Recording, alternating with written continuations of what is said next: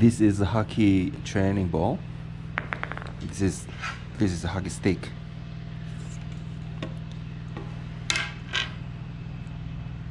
And um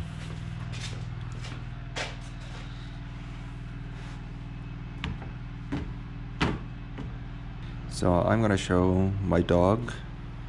Uh, it's kind of the first time playing with any like pucks to him. So um, I'm gonna show my green biscuit and um,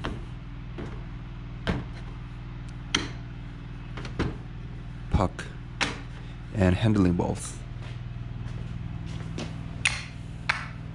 There. When you come.